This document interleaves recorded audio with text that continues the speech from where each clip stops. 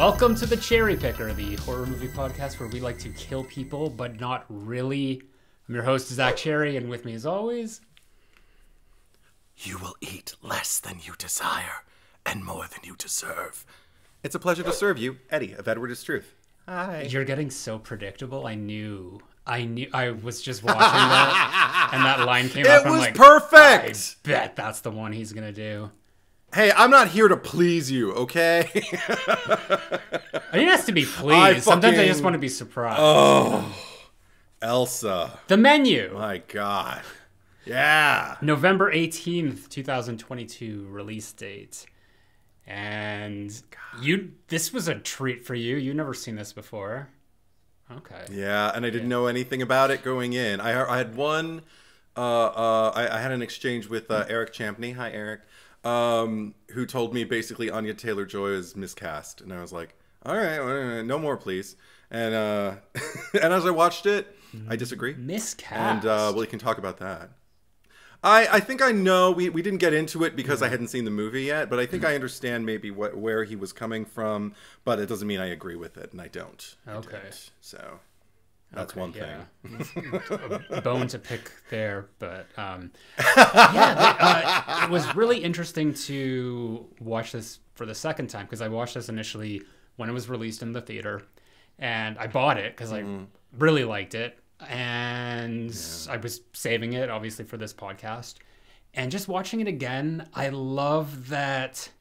First of all, this is a movie that you don't like I wouldn't call this a twisty movie by any means, but it's a movie where we don't know everything going through it. And there's little bits of information that come available as we move along which makes this like so interesting considering that it's all set in like the same room. Like it's it's it, like it's, a, it's a play essentially. Um but here i lost my train of thought. Um it's watching it the second Not a, time not a twisty movie. yeah Yeah. even though there are twists but but watching it a second time it was like noticing things that were always there the first time but just seeing them uh, within a different context now that you know the outcome or you know where the movie's going which makes and you know i'll always say is like rewatchability factor makes the best movies like anything that i can watch and then watch again and again is is the testament to a great movie and I loved this the second time even more because it was it was like watching a totally different movie. right?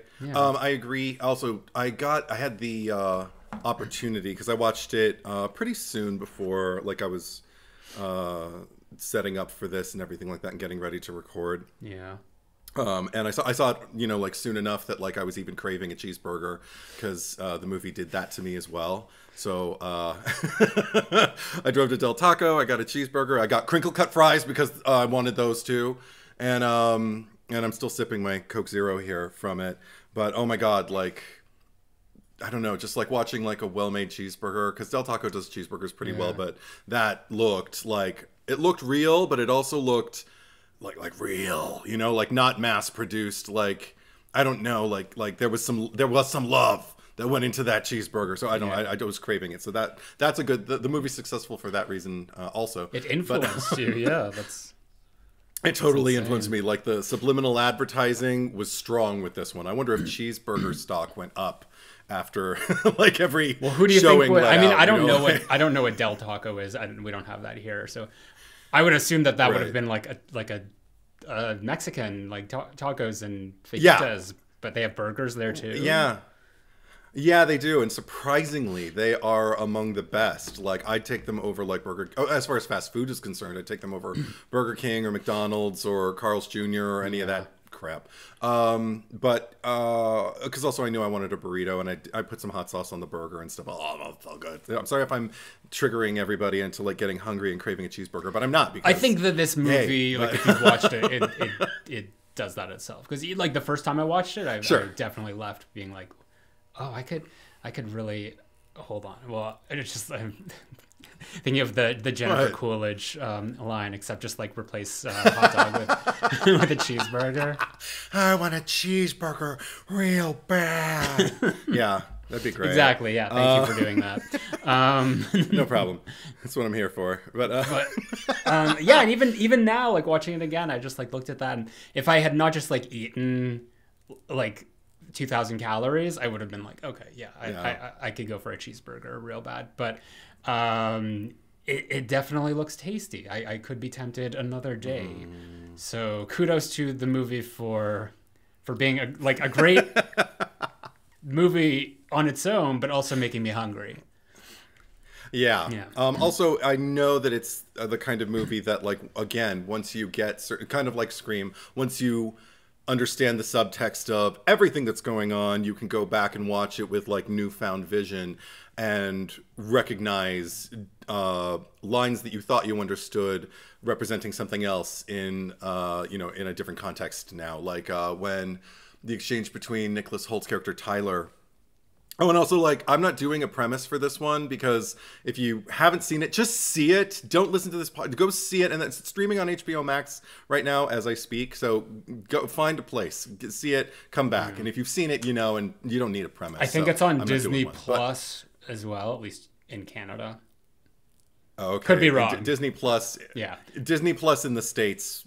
I think most of the stuff that's leans like more toward thriller and more adult kind of like stuff doesn't go on Disney Plus, but goes on Hulu. Oh, Disney's okay. kind of like you know, alt- alternative. I I, I, I, I get it. Yeah, yeah, yeah.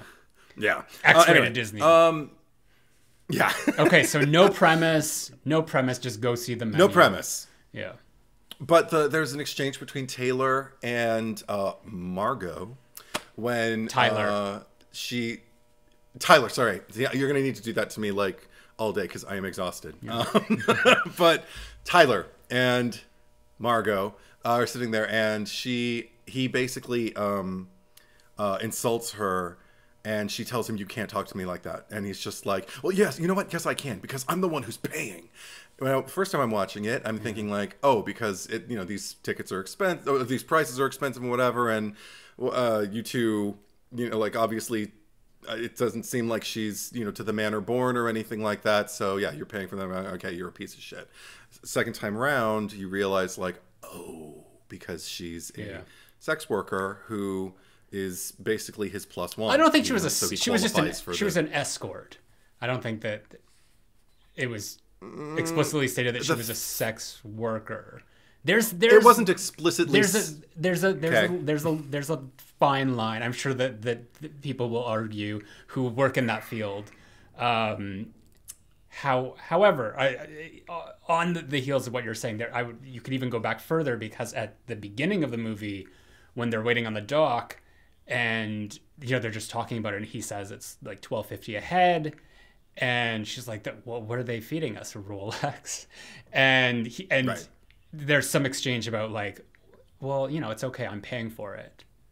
So it was like right there that you you know you have your first uh, indication of like that, that you know when you go back and look at it with those the the uh, the the goggles of knowing what the situation Yeah. really is between them that you know things start to make sense from the beginning.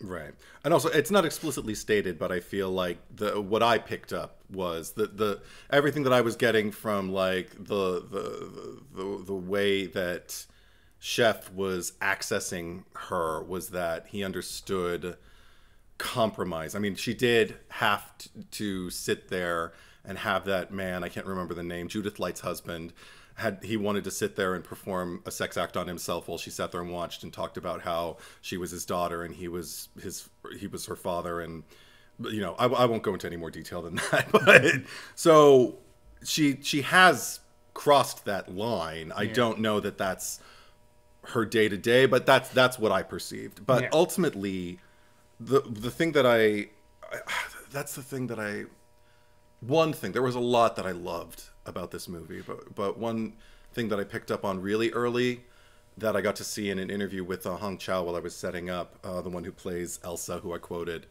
uh, at the top. Um, it felt like a play to me in in the in terms of just like the richness of the characters, the the the kind of like uh, relationship context they were bringing to the tables, literally to their various tables that they were seated at, and and the way that um, she made a comment in like this HBO First Look thing that I totally don't have a problem believing. She said, It's not your typical movie. It does feel more like a play because even though there are takes where there are cameras on, you know, one table, like between two or three people at a time only, it doesn't mean that everybody else, even if you're not in the shot, just kind of like puts their feet up or even leaves the set. Everyone was there to support each other. Yeah, there's a full arc it. for every character from beginning of the movie to the Mm-hmm. end.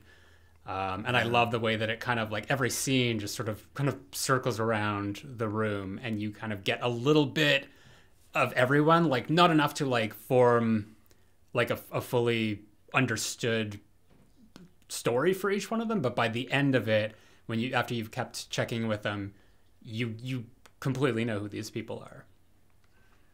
Yeah, and I it's fun to what I loved about the first viewing was it's also fun to look back and realize things you pick up on um, were there, uh, were not an accident. Like I remember the first the establishing shot of Tyler and of Margot. Um, the first thing I thought was like, oh, are they brother and sister and not that close, or are they like coworkers? Like I wasn't getting a big strong relationship vibe, and then at one point, Which I is guess, crazy like, for you because every time there's a, a hetero couple, you assume that they're fucking. Yeah, and I didn't. I mean, I did, but I didn't because uh, at first I didn't because I just thought like, oh, okay, there's nothing Yeah. about this. Or Also, not this couple, but a, typical- but a but a but a pair, a, a male and female pair. right because Just for anyone for anyone listening who doesn't who doesn't know your history with uh, deconstructing relationships within movies. he does this But, thing a um, lot. so- Sorry, he does this thing a lot where it's just there's two characters and just uh, we'll be like, oh well, they they had to be in a relationship. Sorry for context for anyone who who didn't. It's been a minute, but anyway, It's been a uh, while since we. we, we did that. but um, no, because I lit my first note of the movie when I think it whatever it was like uh, maybe he put his arm around her. There was some kind of gesture between the two of them where I was just kind of like, oh, are they together? And um, the answer is kind of, not really. Uh, but then, and then I was just kind of blown away by the cast also because I didn't know. I knew just from seeing the uh, the poster that Anya Taylor Joy is in this, Ralph Fiennes is in this, and I think I knew Nicholas Hoult was in it too. yeah. But I didn't know Judith Light, John Leguizamo, Janet McTeer, who I know from theater and from one movie she made with Glenn Close called Albert Nobbs, where they both played women who were masquerading as men.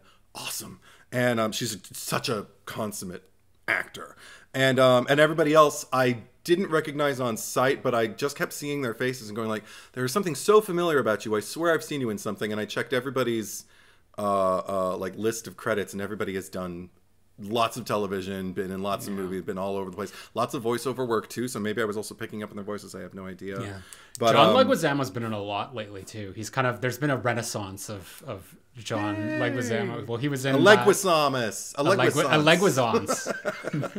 Leguizance. Yeah. You heard it here first. Good. Um, yeah, because he was in that uh, that um, Violent Night. He was the the villain in that. Oh, Uh, with okay, what's his face from uh, Stranger Things as Santa. Right. Yeah. It's, Yeah, yeah. Um, It is what it is. It- not my cup of tea. Okay. Um, another thing that I appreciated though, like walking into it, was the. I, I again, I knew almost nothing going in. I didn't know even know what, what the premise was myself, which is another reason I wouldn't want to like put it out there and spoil it for anybody, um, who might just be listening to this and you know not seeing the movie. Um, see the movie, but the because the, the thing that I loved was I I think you touched on this earlier. I I knew something was going to go wrong, you know? Like I knew they weren't all going to just sit there and have this wonderful, you know, like fine cuisine, like, you know, passing like dabbing their, you know, their, and like, oh, what a sumptuous meal. Let's all leave. And then it's the end of the movie. Credits. Riveting. Um, so I knew I, I was sitting there just kind of wondering, when are we going to find out that Soylent Green is people, you know, or whatever the, the key thing is Yeah. for this movie because I knew like okay, they're he's either gonna we're gonna find out that he's like feeding them their families, or he's gonna start killing them and feeding them to each other and ma- make them make them eat each other. Like, I, what, what's the gruesome truth that I'm I think waiting that's to have the unearthed? yeah, like that's the beauty of the marketing for this as well because the trailers don't give anything away. Like you you get the the, the basic setup that they're going to dinner and that something is going to happen. You don't know what it is. Yeah. That's that's all you get. And I guess kind of like cuz you know I'm comparing this to like Scream marketing where the, Mm-hmm. those trailers are just like pulled apart and looked at from every angle and you can like Sure. formulate uh, the movie in some capacity months before you've even seen it but this one like i said it has the uh, the the fortune of being set in a single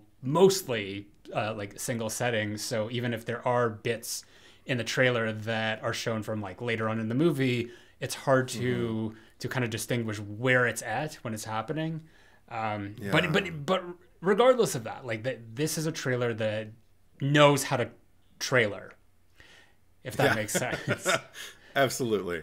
Um, how much did you know, like going in your first Nothing. time? I like the exact same as you. And I guess this is obviously a smaller movie. Like I, th- this was actually um, what the production company Search Searchlight Pictures or Yeah, something like that. used to be Uh, Fox, formerly known as Fox. Yeah. well, part of formerly known as Fox, but um, they ap- apparently this was like their biggest opening of any movie that they've ever distributed. wow. So, but even but even then, it's just like for a movie like this that's obviously smaller scale. There's not going to be like a plethora of spoilers out there. Like people aren't going to be like going and talking about this movie on Reddit forums and stuff for people to absorb before they see it. Um, Yeah. And but I, I, keep losing my thought tonight. You you say something and I'll, I'll circle back to.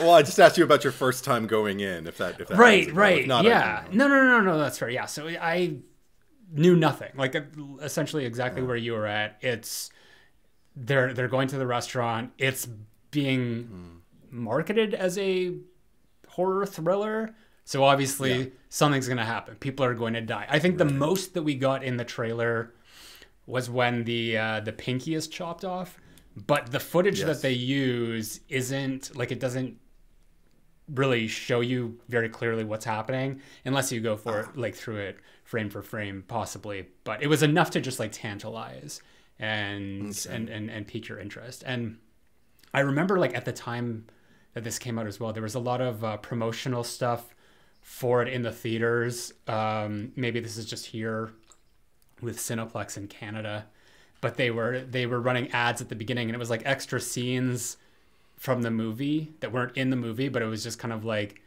we ask you to you know turn off your devices or something or it, there was like a, a narrator voice but it would show these like things from the like uh, what's his face Nicholas Hoult because he had his phone out and it's just like you know we ask that you don't have your phones on you know like that kind of typical movie theater Oh, okay. stuff like don't okay. don't be an obnoxious film goer Oh boy. so I mean, it was it was popular enough to, you know, be shown in like every movie theater auditorium, in from in front of whatever the movie was, just just to like advertise that. So I don't know. yeah. Obnoxious is a good word And to I- describe the introduction of like these characters who are dining. Oh, too. yeah, absolutely. From the moment they're introduced, I don't see any of these people walk on screen, with the exception of Anya Taylor Joy's character. Like I, I know that's one thing I kind of knew was okay. If anybody's getting out, it's you.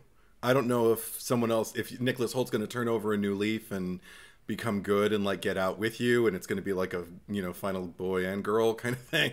But if No, anybody's no. getting out, it's you. And but I don't know what movie I'm seeing yet, which was nice. I couldn't predict. Well, obviously she's going to survive. Like I was like, maybe she'll just last the longest. You know, I don't know how nihilistic the filmmaker. yeah, we don't. Yeah, because yeah, because again, we don't know what's going on. This is part of a a subgenre of horror that has been really popular lately. I mean, we we haven't seen a whole lot of it, but it's kind of like the the eat the rich. ah, You know, we, I the probably the best example of this is Ready or Not. Uh, sure. but even if you want to go back further, you can you can add You're Next uh, in with that as well. Just just any any Mm-hmm. movie where where the the rich are targeted, and you know the tables are turned on them.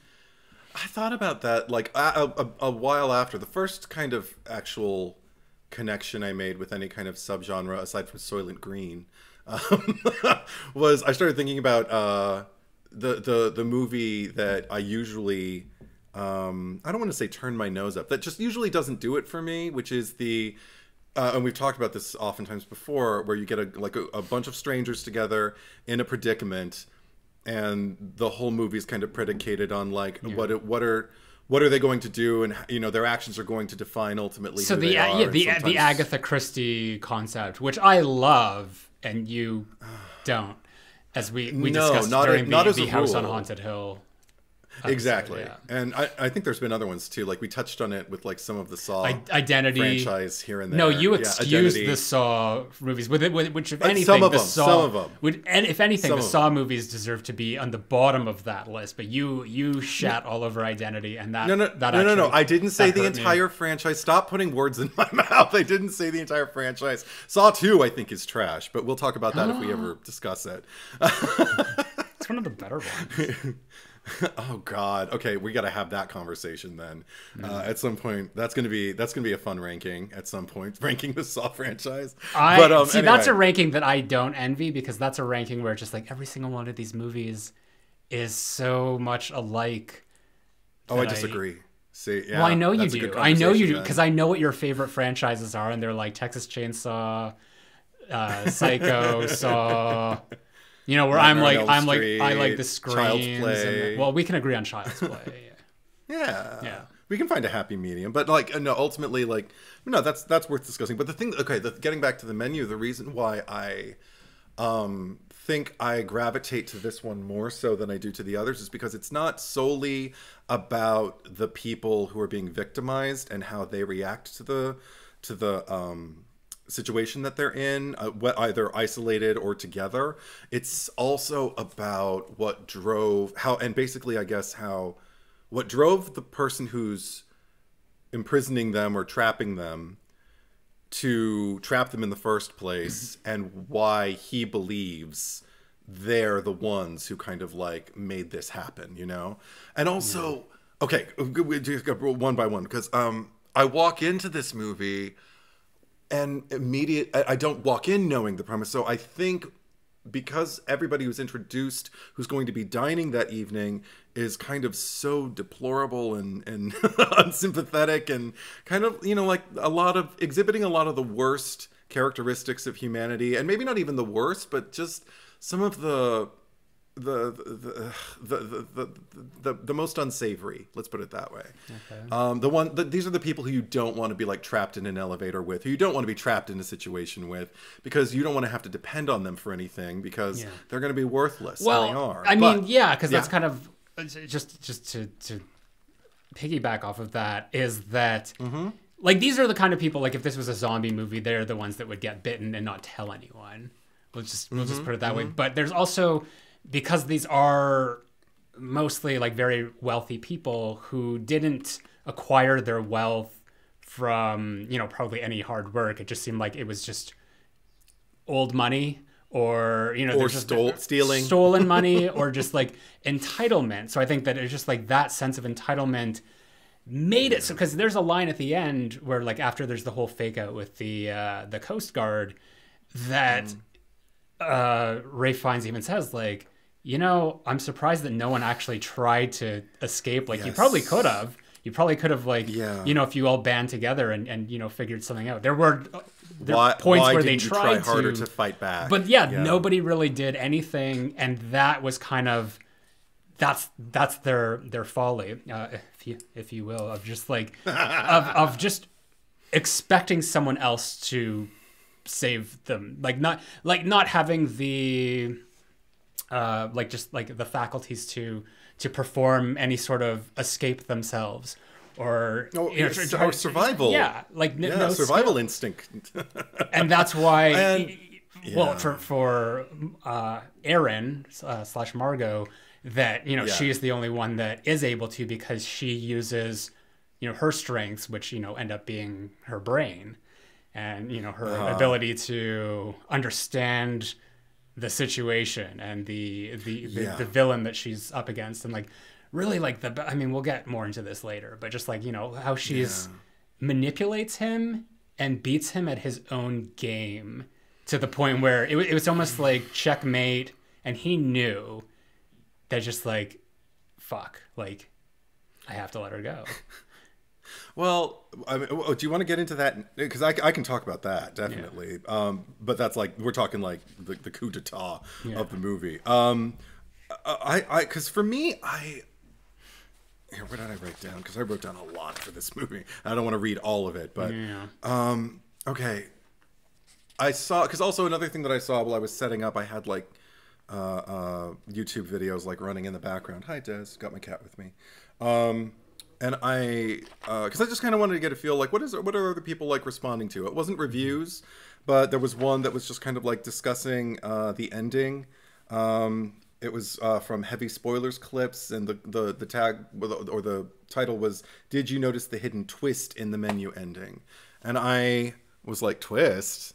Um, so you know, I just I just had this stuff on in the background. We can go into it later if we have time, but um, ultimately, um, what kind of grabbed me uh, in terms of what she was doing was she was appealing because there's a lot of people saying like ending explained, and I'm like, oh god, I hate those videos. But um, but what I got from it because a lot of people seemed to get that. Um, I don't I don't disagree with this, but that she was appealing to chefs because she saw that photo of him when he was younger, like his first, uh, uh, uh, you know, assumedly like his first job, Yeah. uh, uh, flipping burgers in some kind of like you know greasy spoon somewhere, and um, what she was doing was bringing him back to basics and giving him like an access to basically a time, well, the time that made him fall in love with food in the first place, and. I, I agree with that, but I one but it kept being repeated, and I was like, well, there's a whole section in the movie where there he actually takes her into his den, like into his office alone, and fully tells her he gives her a map out because he basically tells her, "I haven't found." I, I can't, I'm going to misquote him, but I haven't found joy in preparing food for anyone in a long time. And what she does is she offers him a challenge. She basically stands up as an equal, and instead of critiquing him, even though that's there, what she really does is challenge him in a language that he can speak and can understand. And the fact that because the fact that he accepts her challenge she's appealing to his passion. She's honoring him as a human being instead of as a monster. And basically uh, by doing that as a result she ends up being in control because now he's doing something she challenged him to and the only way he's going to kind of usurp the control back is if he one ups her and you know rises to the challenge and meets it and he does but I, what I loved about it was what it spells out is that even if she is a taker in his eyes, because he tells her that's kind of like her her death knell right before all of that. You you know now you're just a taker or whatever. When she when he realizes she tried to call the Coast Guard and get help and everything like that.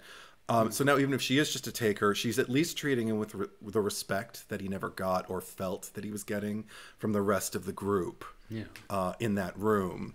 And the rest of them are all trying the best they can to offer money or or even just oh uh, no no I love your food you know and they're even doing it to the other chefs the other sous chefs and the and the I don't know what the terminology is but all the people who are working on his underlings and um, who are working in his kitchen. And and uh, uh, we'll talk about them in a bit. But that's that's what I love is that that she uses not just her mind but also just her like uh, her own kind of like ability to empathize with his position as a subservient person Yeah.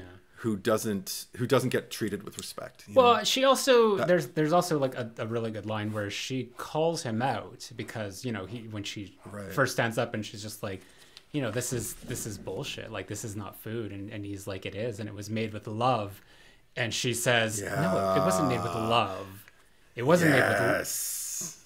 it wasn't made with I'm trying to say the line.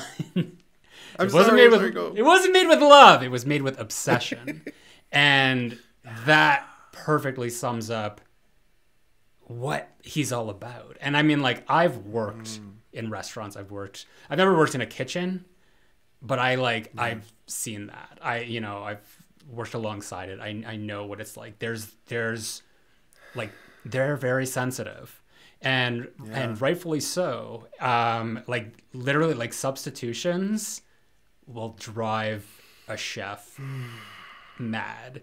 And i think like what's interesting like thematically for the movie and just kind of like her being there is that she essentially in and of herself is a substitution because she was never supposed to be there. And that's why her presence has like spoiled the entire experience of that evening for him which absolutely speaks to me. I think that's another thing is that this movie started off on the right foot for me as a virgo and as a control freak and as someone who enjoys being in control as much as i enjoy uh, serving someone who i respect serving people who respect me you know? Like if there's a mutual respect harmony like absolute harmony. And i that's what i was perceiving. That was another great thing a hook for me with this movie was that it wasn't introduced as like here's the oppressive environment and here's the poor victims. It was like here are the here are these people and now they're moving into an environment and com- with complete disrespect complete dismissal. They're they, they they they all in their own way are kind of turning their nose up at it and and and challenging the staff in all the wrong way. I loved that elsa um uh, she's getting like pressed by those three guys who were embezzling or whatever um about the the meat and asking just like oh, okay. I don't remember the days exactly. I think it was like 155 days that it has to like uh, cure before it can be served and everything and if not then it's ruined it's like so what happens if you serve it on the 153rd day and she just kind of like puts it in their face this is exactly what happens you die motherfucker Yeah. we have your lives in our hands. So you bet. And she doesn't say all of this, but what I'm getting is you better pay us some fucking respect, you know, because we know what we're doing. We are the experts. Don't joke about this thing that we care about, you know, this thing that we invest our like- lives in and our days. yeah she's like one of those uh uh servers at you know those uh specialty restaurants where like the staff are supposed to be rude like that's what people pay to go and experience and apparently uh what's what's the actress's name Her name is Hong Chau. she was approached by some like well-renowned uh, restaurateur or something who uh, wanted to give her a job to actually like come and, and work for her. Like that's that's how convincing she was as the She's what's amazing. her what's her position like maitre d or host. She's the maitre d. that's d', that's okay. what she declared in her Yeah. interview. And also, I've seen the thing is, I've seen her in other things before. This actress, um, Hong Chau. I've seen her in HBO's Watchmen, and I've seen her in Big Little Lies. And apparently, I haven't seen The Whale yet, but she's in that with Brendan Fraser. Uh, having a minute right now, so good for her. I'm definitely gonna watch it now. Um, because this is the thing. I this is the first time I've kind of like seen her and noticed her. I want to go back and watch her perform and everything else because I'm sure she was just so good. I didn't even know she was acting, and I just thought like, you know, and accepted whoever she was. She said what that she was, whoever she was. But um, I thought she was a fucking boss. I had the mad respect for her militancy in the face of all of it, like the rigidity. And again, like as as a very token Virgo, I understood the kind of you know res- not I keep saying respect. I got to find other ways to say it. Like the, the oh, how about this? The dignity that you have to uh, uh, uh, kind of like recognize in the people who are serving you, especially in a venue like that. When it when the cuisine is like couture cuisine like that, you have to it, it's almost I, I think it's almost like kind of like for me as a Catholic, like it's almost like going to church and like okay, quiet, you know. Or for me now, it's more I I experience the same kind of like uh, re- revelatory experiences in like a library, and I love I love libraries now because you know you have to be quiet, you have to be mindful of other people, you have to seek what you're getting without like making a big ruckus, and like you can't slam your hand down on the counter and demand service. You have to be patient. You have to you know like um you have to be a decent human being, and I just felt like it, I don't know if anything would have changed if they would have behaved any differently on this day, because obviously the plan was, you know, premeditated. But Right. Uh, but if but even if they would have behaved that way, like in the first in the first place, like I don't think any of them would have been in that predicament, with the It exception, of course, of Erin yeah, I mean they they were specifically chosen for past transgressions, and then John Right. Leguizamo because he he made a bad movie, uh, which I thought was hilarious. like, it was just my one day off in months, and I saw this piece of shit. Can we talk about that for a second? Because Yes, please. that that was another thing that like kind of threw me because here I, I was. What was the movie I spent called? the It was like paging Mr. Sunshine. Oh, I have it right here. Calling, calling Doc- Doctor Sunshine. Yeah, Yeah. calling Doctor Sunshine. That sounds like a great film, but it's um no. But I mean, again, like okay, because I, my my uh sort of sympathy was like resting with like the service staff for a long time up until uh the point where Chef pulled up. Uh, what was his name? Jeremy Loudon, the the guy who was presenting the mess that was the first inkling that I was getting a kind of culty vibe. Before I was just like organized kitchen, good, you know, like this is the way it should be. And then once I saw his his uh, sous chef come forward and like you know buy the farm basically, and they're all freaking out and everything, I was like, oh, it is a cult. Oh, it is a cult. Okay, so I started. um to kind of anta- feel you know like an an- antagonism towards chef then of course because now you're doing something oppressive and you know you're ta- you're you've you've conned these people or whatever however you want to describe a cult leader like he's, you've swayed these people persuaded them to just kind of like do whatever they do to please you uh to, at, at any expense. And then and, and then we start learning more about him and start realizing the way he sees himself and the fact that he sees himself as like an underling who's there to serve and he's got this like uh, uh, disrespectful public. Then chef calls dr S- it- basically it says calling dr sunshine is a movie that he hated and it was his one day off. And he now has become the served you know the one who's being served a movie who's like now wanting to send it back and basically w- wishing he could substitute it for something else. And probably you know if he could have, have written a bad yelp review for it he would have and everything like that. Now you're the judgmental prick chef. And the so immediately from that i just got this act of true cowardice uh, that's feeding his i'll show them appetite. If that makes any sense like th- this I don't know. He's assuming the role of victim so he can do whatever he wants, Yeah. which seems uh, that's where the movie like really sp- spoke to me like on a universal level. And when you do something like that, when you put yourself in the position of victim so much so that you've now justified your position as like master controller who holds dominion over like, you know, the the destiny of like these people who you think wronged you.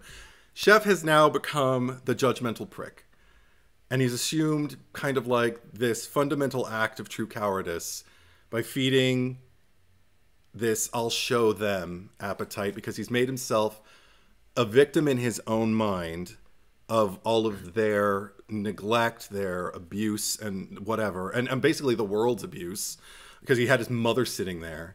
So now he's kind of used that to justify putting himself in a position of ultimate power so he can hold dominion over the destinies of all of these people. And when you do that, I, I just wrote, it impedes your growth and grants power to those who wronged you, allowing their negligence or their abuse to define you. And then actual power is reclaimed from taking the lesson, focusing on your own healing process, and moving on. Which is interesting because I wrote that before I knew the direction Margot Erin was going to take. Yeah. Well, Um, because I felt like she took the lesson from him, applied it, and moved on. Well, that's You know what, I, mean. that's what I wanted to say is that it, it was almost like every single person there was given an opportunity to kind of turn the tables on him. That you know he would have Hmm. granted them immunity, and Mm-hmm. in that case, you know if he, if if John Leguizamo's character, what's his character's name by the way? Oh, you got me. I didn't write that one down. when when when Leguizamo, you know, got up and was just like, "Why me?"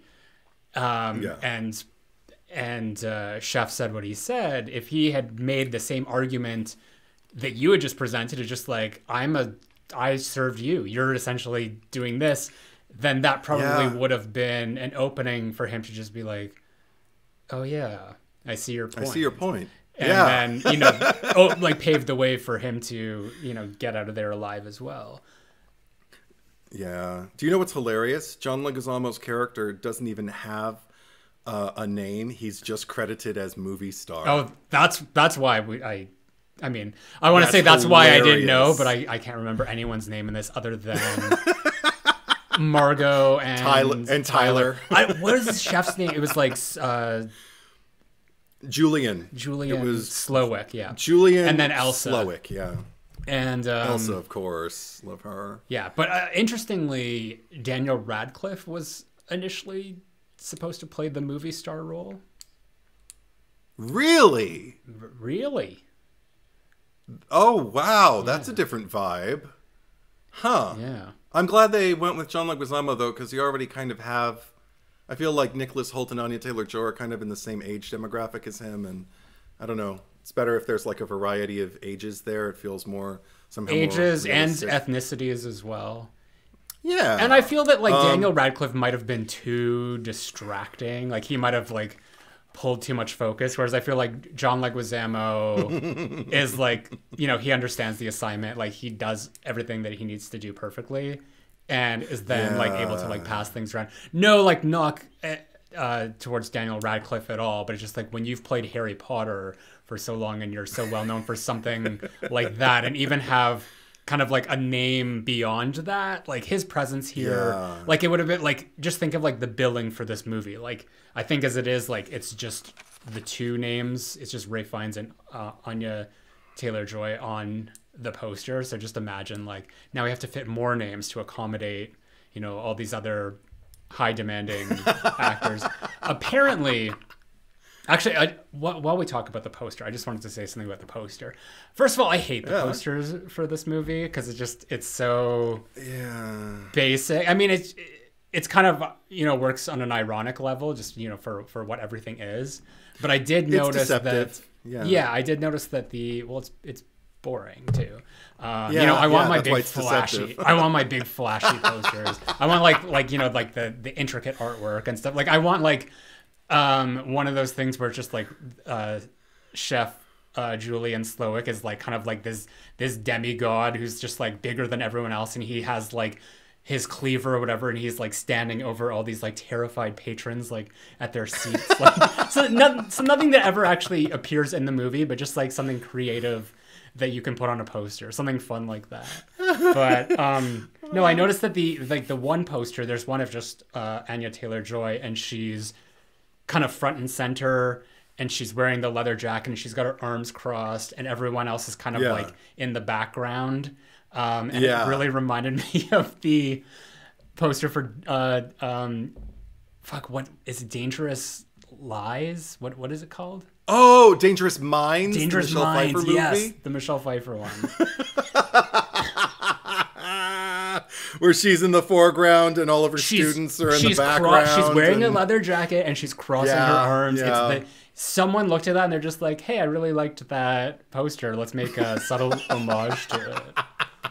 Except there's no wind machine on Anya Taylor Joy, I don't think, in hers. But Um, um, also, maybe this is a good time to address um, the the the Yeah. miscasting opinion because similar to Daniel Radcliffe, uh, originally supposed supposed to play the movie star, Emma Stone was cast as Margot.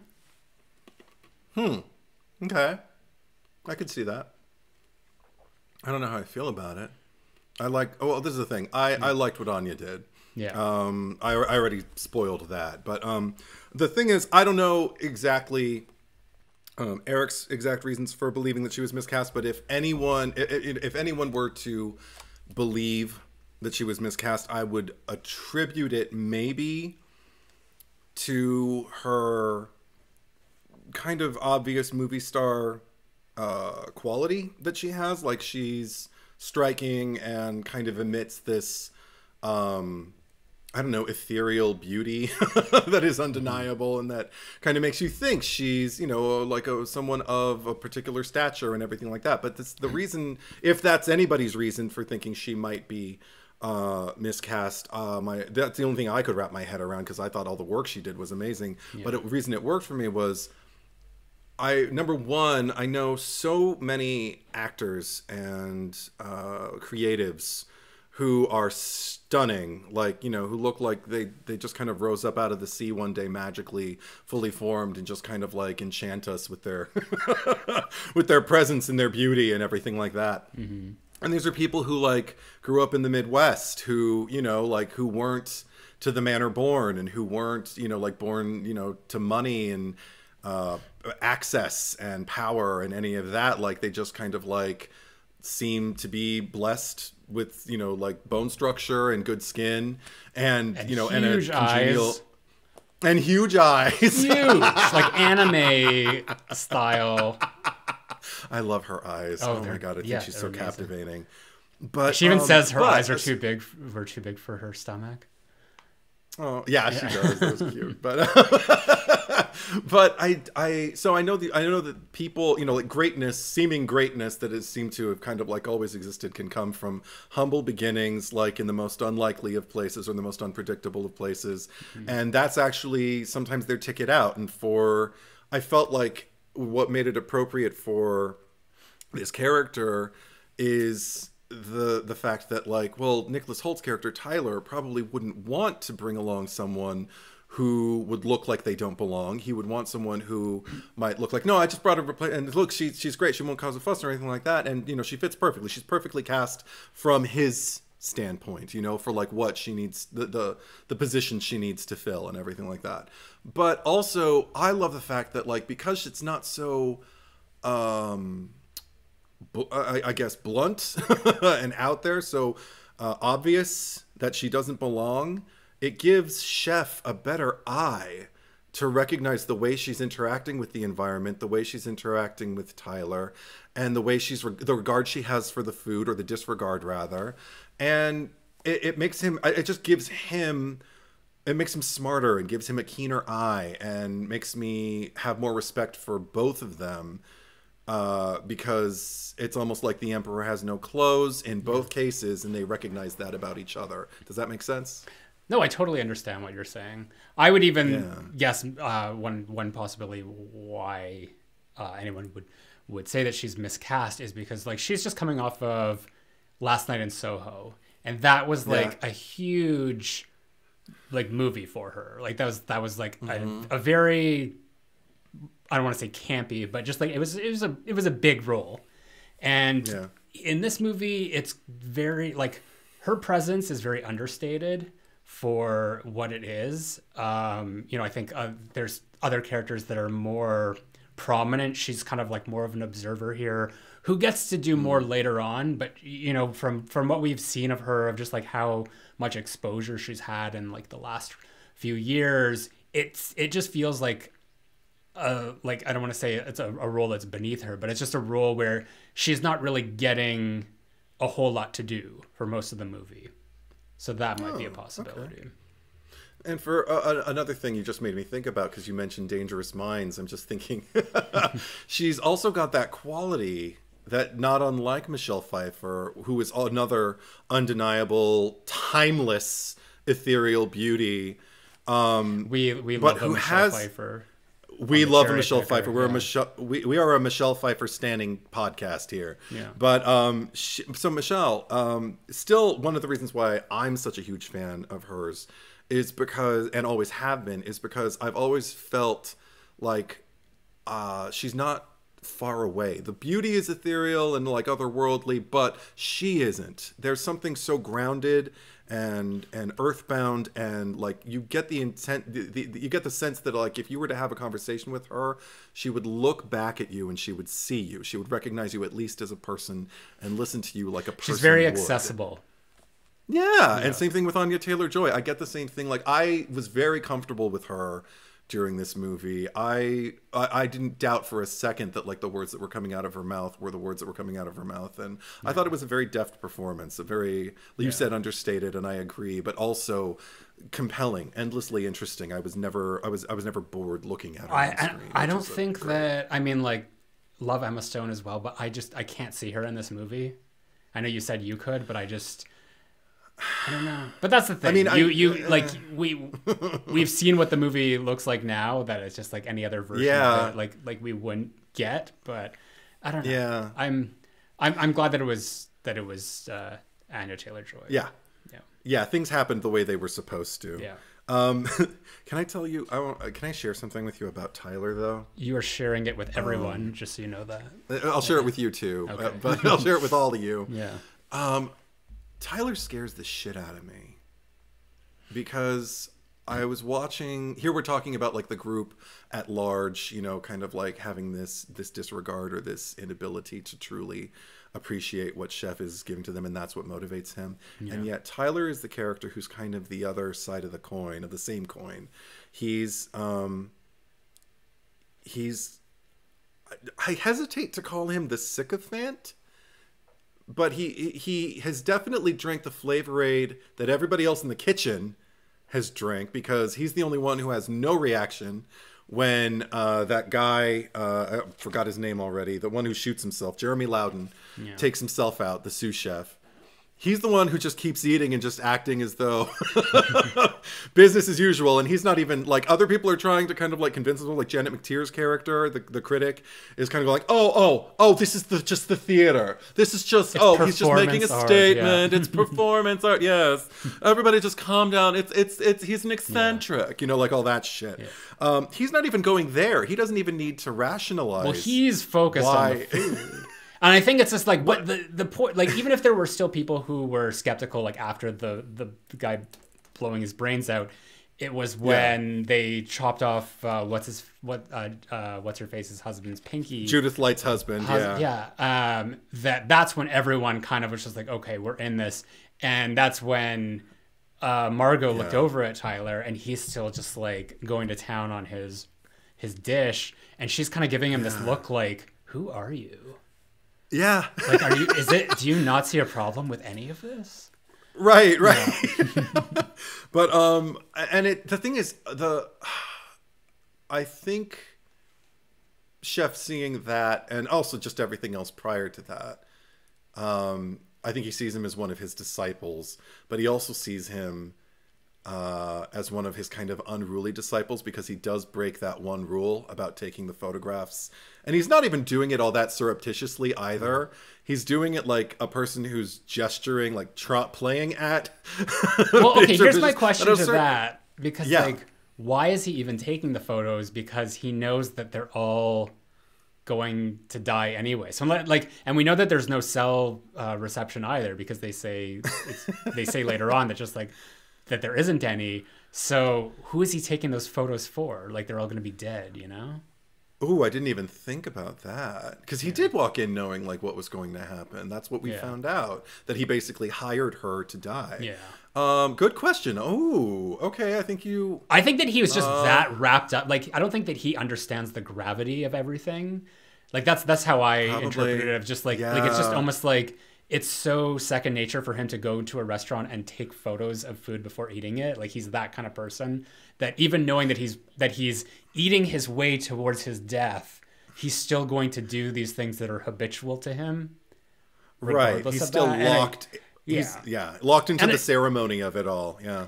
and again like just in terms of like why uh, julian reacts so badly to him i just go back to like the whole thing about no substitutions because of the, the fact that he substituted uh, ms westervelt for margot Yes. Yes. and and for the But only the- reason for the only reason because the only way Yeah. he was able to dine is if there were two of them right. Of course. and i love that she Um. jumped over the table and punched him in that Yeah. Me too.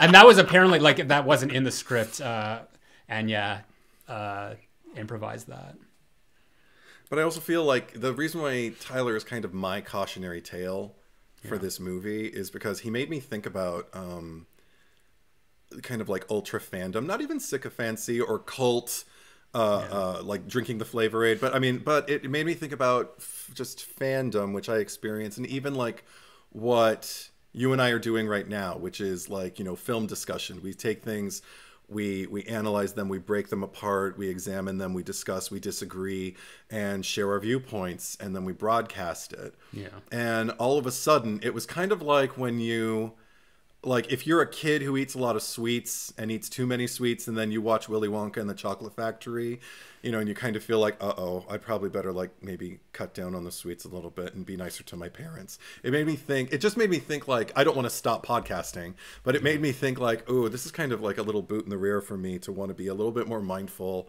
about about what's being presented to me. Not to the point that i am like critiquing it just for the sake of critiquing it so i can sound like i know what i'm talking about and so i can belittle others to make myself feel big or so i can just enjoy things and you know enjoy a status as like a podcaster or something like that but well, I'm not, I'm not done. But but also not to just you know like kind of like blindly worship uh, the people who create the content that we break apart. Uh, it's there's a happy Pfeiffer. medium. there's I mean she's.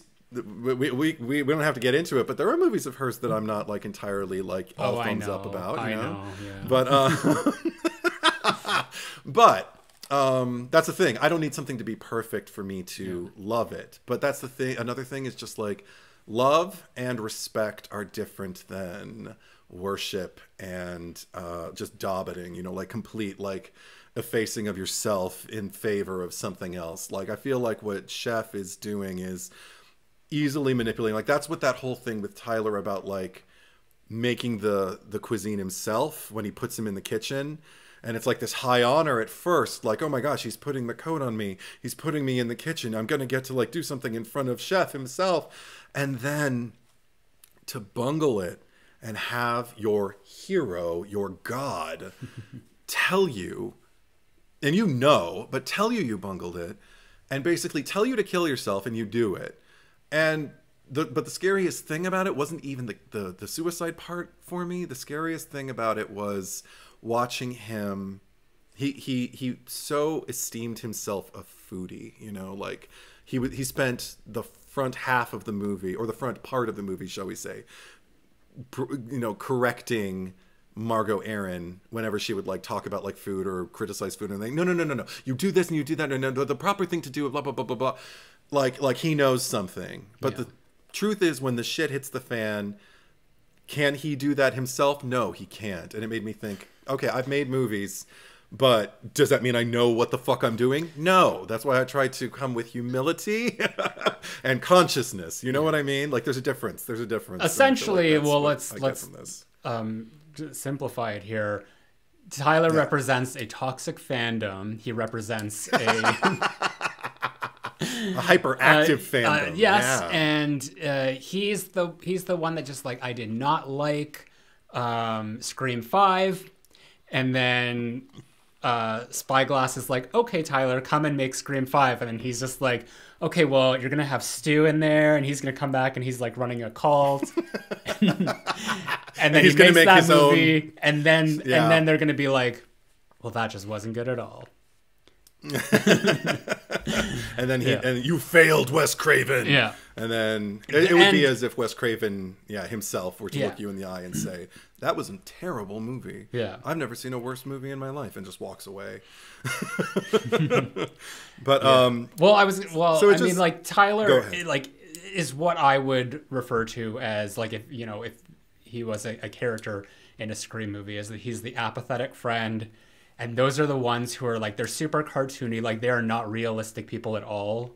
If you if you met them, but apparently, I mean, like obviously in in this movie, like the these unsavory people as you call it like they're made to be as realistic as possible.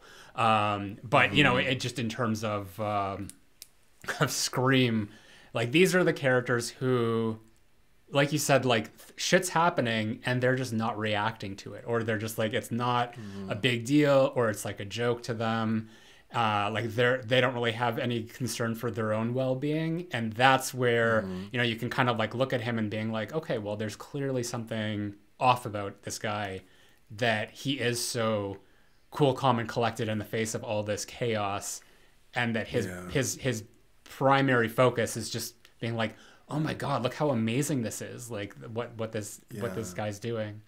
So i mean if if there was a tell at any point Yeah. early on in the movie that you know he was not to be trusted and that he's not going to make it out of this alive um, there are plenty of them.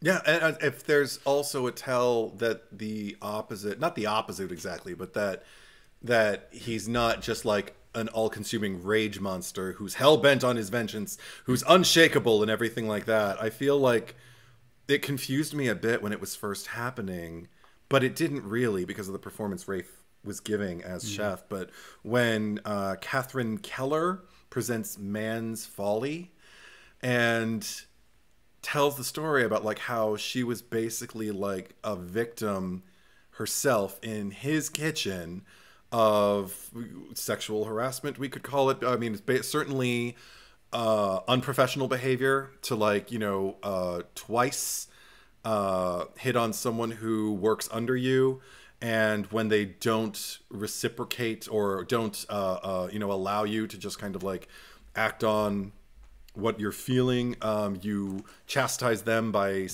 by not acknowledging them and by not even you know acknowledging their presence in your kitchen. That when you're a chef, I know that that can make you feel like nothing. I mean, it, it- any any anybody who works under anyone and is in a situation like that where the person who has authority over you cease you cease to exist for them for a time yeah for what how long was it? Was it weeks months? I don't even remember how long she said he just stopped being there for her. And then for him to give her uh, an opportunity like a platform essentially or a, a, a, a what's the what's the word you look for? The uh, a, a course in this you know evening um, to present and to basically kind of hold him accountable made him made him more interesting and made me see okay so he's not like this i'm all right they're all wrong kind of person. He's kind of atoning for his own sins that he's committed and the punishment that he's allotted for himself. I thought it was fascinating that she took scissors and stabbed him in his thigh. At first i thought she was stabbing him in the dick.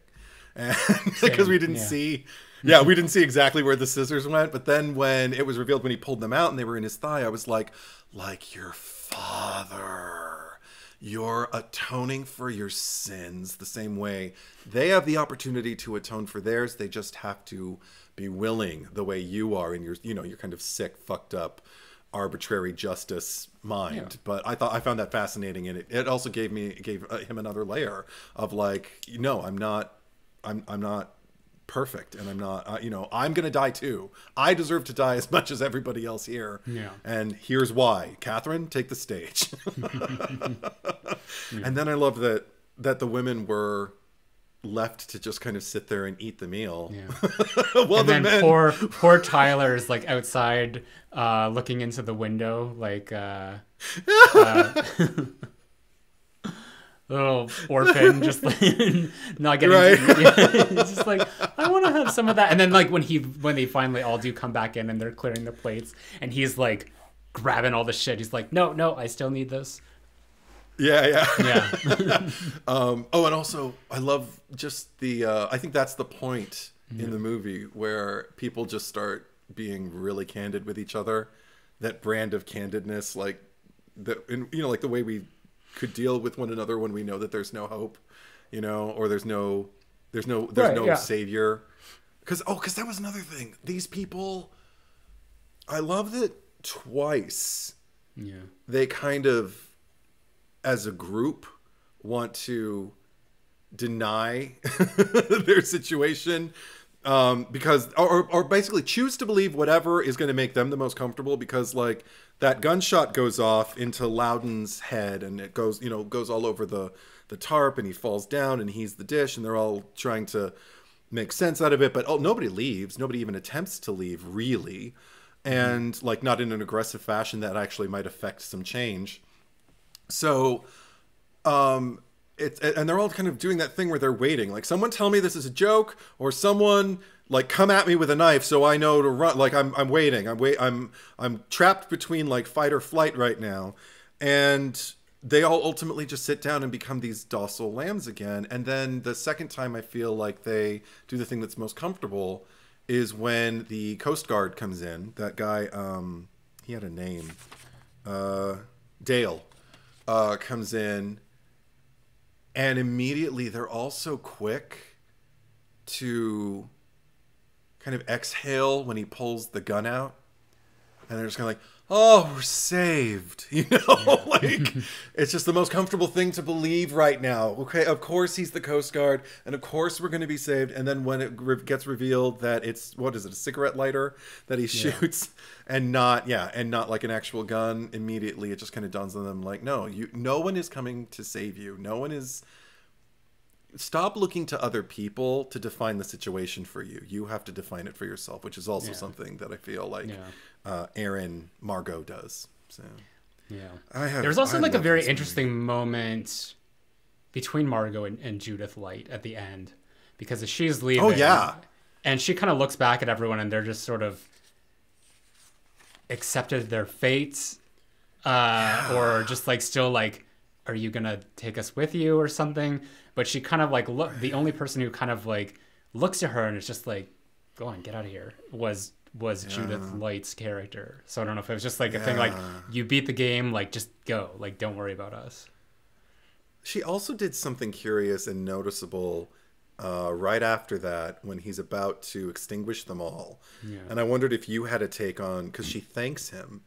She says thank you before he like kind of you know presses the button as it were, and they all go up in smoke. Did you have any kind of like reaction to that? Did you believe? I don't even remember about- that. Oh, okay, it happened, and I was just kind of like, my immediately I was like, well, I don't think she just drank the flavor aid the way like Maybe- Nicholas, Nicholas Hoult did. Was it sort of was it maybe more of a thing like she just kind of like had just sort of like succumbed to the situation and was just sort of being like polite because it's just like you know ser- you know they're getting served this meal so she's just like thank you you know like it just it like too little too little too late but you know we're gonna we're, now we're gonna be polite about the whole thing Well, also, it, it did seem heartfelt. It didn't seem like she was putting on airs or anything like that. But at the same time, well, all I could think was maybe at most she's thanking him for ending their suffering. Like they've been.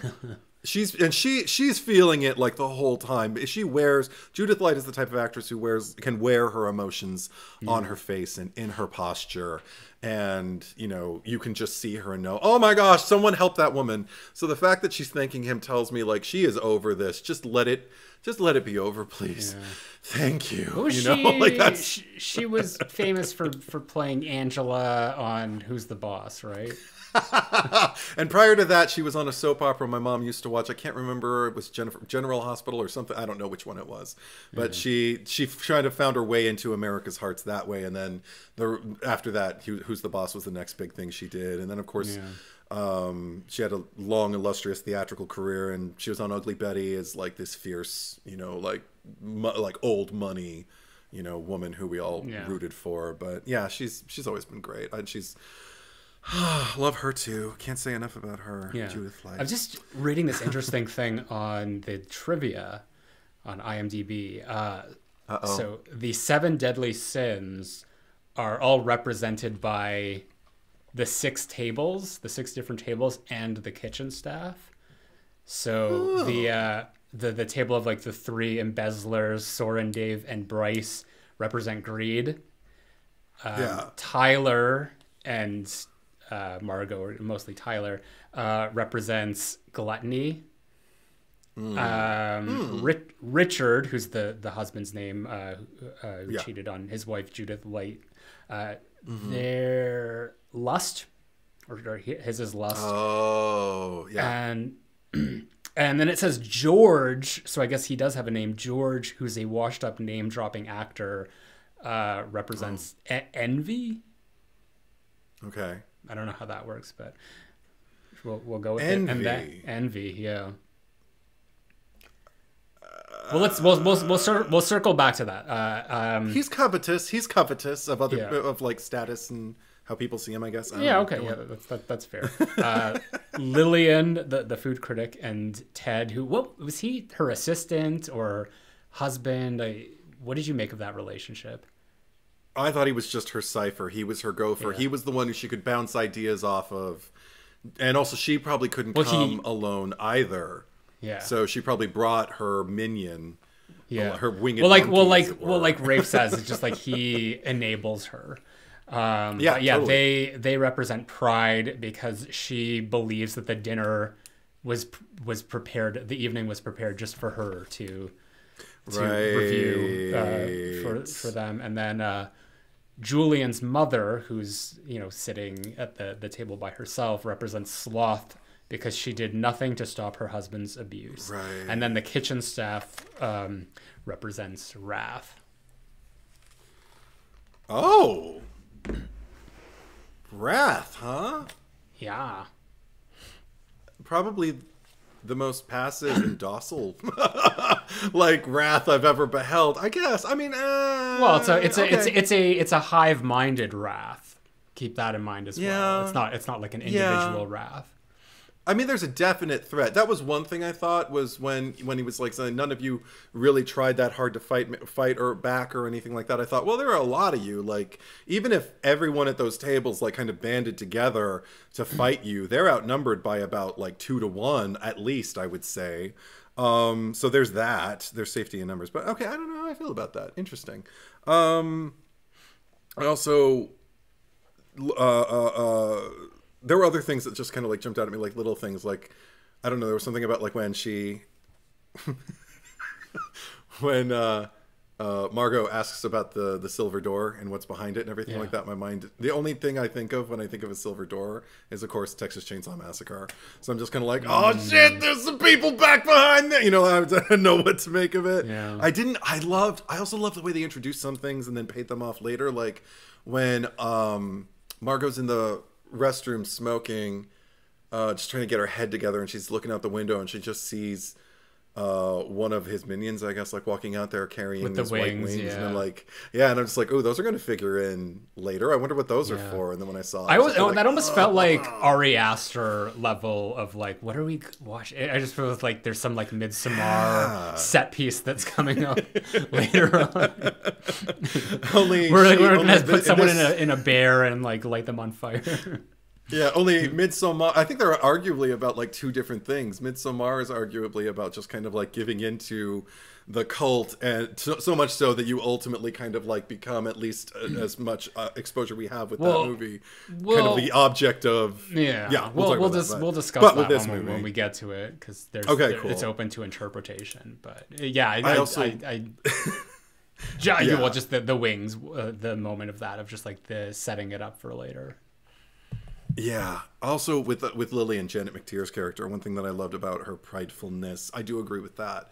Um, I loved her bringing up when they had the bread plates without the bread, and she was bringing up that one little tiny like section uh, out of six, I think. Yeah. That and she just wouldn't let go of the broken emulsion. Yeah, And they just kept serving it to her in these giant bowls. he was so spiteful. Just- just like yeah and i thought that was amazing. I mean that's again like where as far as the staff is concerned ultimately like given their you know their their kind of mission in, in the movie mm-hmm. overall i can't get behind it. But from a service position like i understand what it is to have people critique something to your face that they have no idea mm. about. And maybe they do have an idea about but like it's like could you just enjoy something just once? Yeah. like not everything has to be not everything has to be broken apart and has to be like completely just you know like this is what this means and this sometimes you can just sit there like that's not, that's another thing that i got like from the movie where i was like i'm glad that i get to talk this all out during a podcast but i probably won't be very talkative about it in the future. I may just kind of go like yeah i love it and just let it yeah, just I mean, enjoy I, it. I let, think let the people, enjoyment be what it is. Yeah, most people are very passive aggressive when it comes to, you know, especially situations like that of dining out where, and you know, I, I was a server for many years, and it's a Yeah. thankless job, and it's like honestly, they're because what as a server what uh, you're supposed to do or at least uh, you know the places i worked is once the food comes out you have about a minute to return to the table and check on the guests and just see if, like Yeah. how are the first few bites? You know just because that's the the the quickest opportunity that if there is a problem that you can get it fixed. And people kind of a lot of people see that as more of like an intrusion. Uh, if anything it's just Right. like like you know everything's fine except for the interruption or whatever but not really understanding that no this is the opportunity that if there is a problem i'm giving you the the chance to let me know. And Yes. i cannot tell you the the number of people who just like yep everything's fine. And then at the end of the meal after they've eaten everything will then lodge a complaint about something uh, or you know wait until the bill comes and then complain about something that way. And Uh, what I love about this movie, just like in terms of like what the the staff gets to do, is that they just be like, no, and you know, like you know, like we see with Elsa a lot, and just like put their foot down and just like, Yes. not my problem. And there are so many times where, I mean, I may like because I got so sick of of the service industry that I definitely crossed a line more so when I was uh, a bartender in a nightclub because I feel like you can get away with that kind of uh, that attitude more so in that environment rather than a restaurant. But there were certainly times in restaurants where I would just like flat out call people out and just be like, you know, you had every opportunity, or you know, people would say, we've been waiting really long, like blah, blah, blah, like. I don't know what's going on here. And like, I'm like, well, remember at the beginning of the meal when I asked you if you had any time constraints and you said no? yeah. that would have been a good time for you to tell me about what you're telling me now. Like, I, you know, I would have in like the most polite way, like almost like a very like reverse passive aggressive way back at them to just just be like, no, you had your your opportunity. Like, don't don't fuck No, with if they were e- and if they were even listening to you when you Yeah. were speaking at the top of the meal, you know, like I mean that's that's another thing, the dehumanization of the service industry and just like I love the fact that like here the only person who's in full reverie the entire time is uh who's who's seated is uh Nicholas Hoult's character, yet he does still snap at someone and that's Anya Taylor Joy's character. And um because she's the one who he's paying who he can disrespect you know? This this is something you know he he he holds in too high esteem but he her she's easily like you know just kind of like uh, disposable and, and can be treated like a someone who well, clearly he's she's disposable in the in the regard that he, you know he brought her there to die. right. But also I, I feel like again like i feel like the whole movie could have been avoided uh, and any kind of situations that are even adjacent to this could be avoided if, in in situations in environments like you know restaurants and whatnot. If if everyone when you went to a restaurant didn't focus so much on the i paid my money i'm entitled to this. No.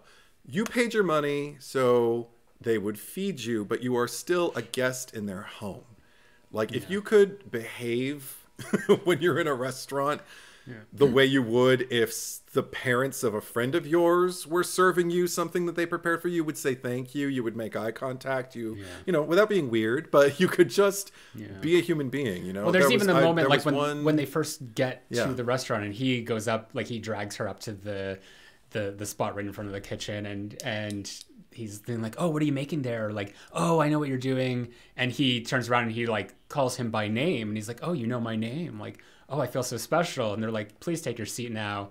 And then they go back and he's like he knew my name. And and she says to him well it's interesting. I noticed that you didn't ask what his name was.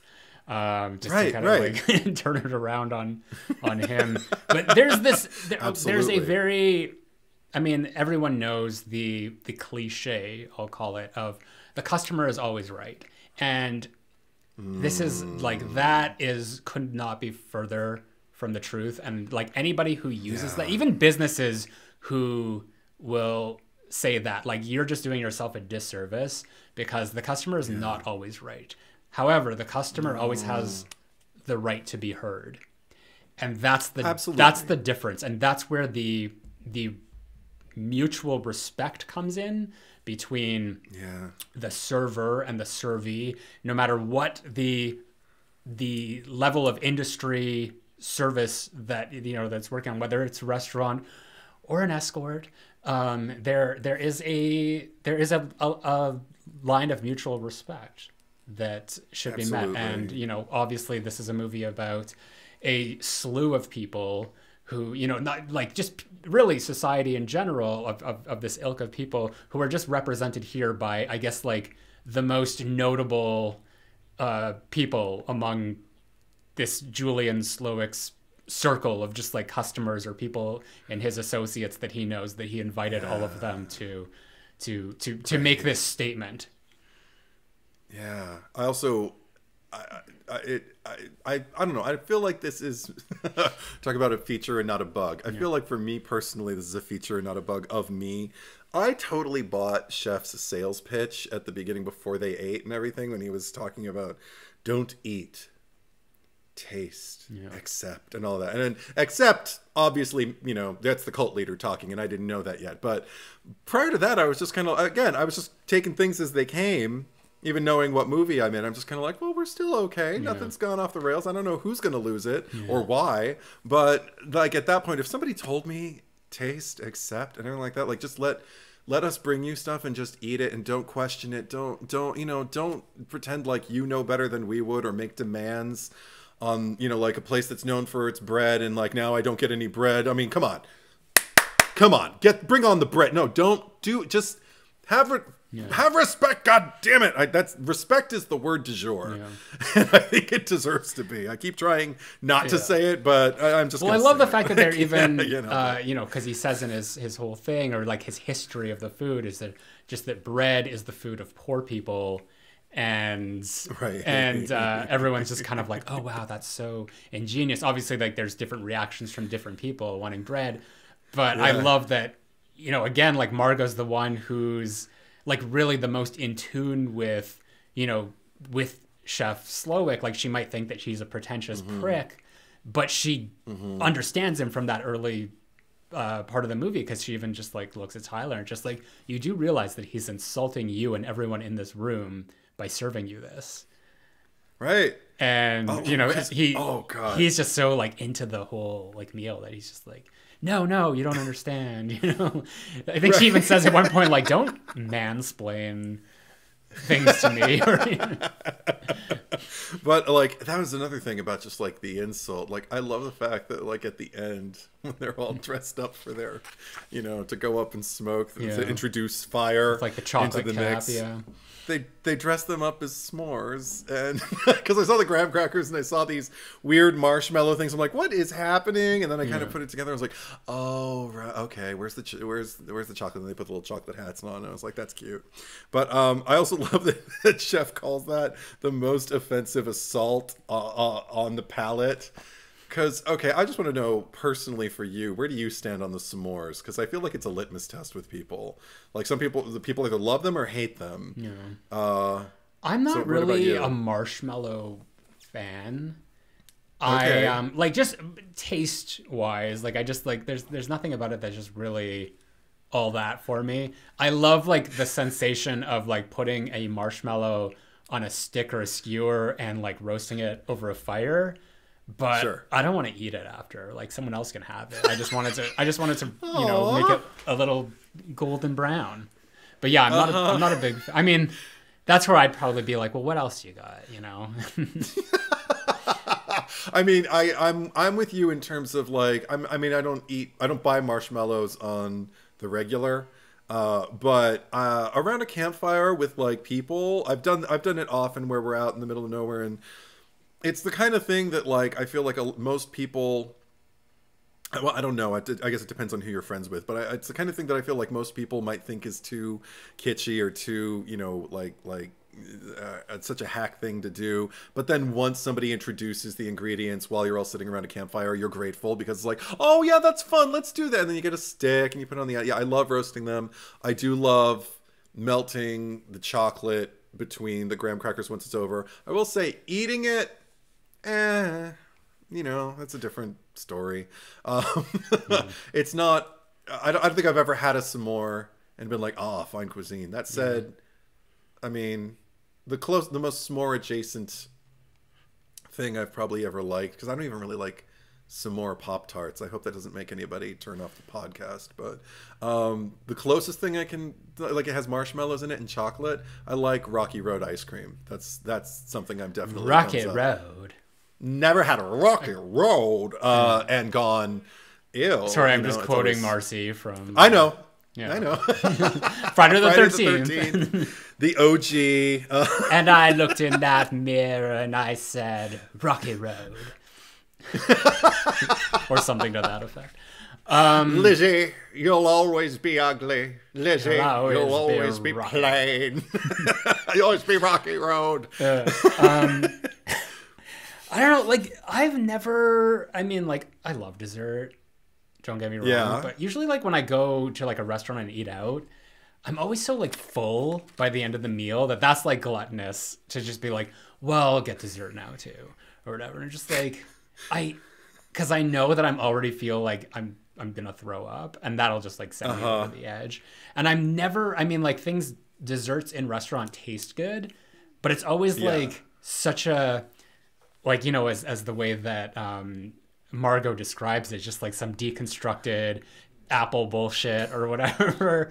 I if I'm gonna have like junk food, like just give me something basic. Give me like a fucking you know Reese peanut butter cup, or you know Yeah. like I'll even have ice cream or or something like that. I don't want to like get a dessert from a restaurant, especially like a fancy place that's just like this thing with like drizzle and strawberry Oh. Stems and stuff. Yeah, I don't. That's I've never. Oh, see, I love that, it. it. yeah. It makes me feel like I'm eating in one of those American Psycho places, and that you know, of course. of course, I'm covetous of that uh, in and of itself. Also, I'm, I'm a dessert. Dorsia, oh my gosh, I wouldn't need Dorsia. I would eat it like the moose place that like uh, uh, Paul Allen is like looking down his nose at when when, when at Patrick takes him. Anyway, uh, we already talked about that movie, but um, but uh, that was another thing was this movie made me realize early on, like right in the beginning when they introduced the amuse bouche.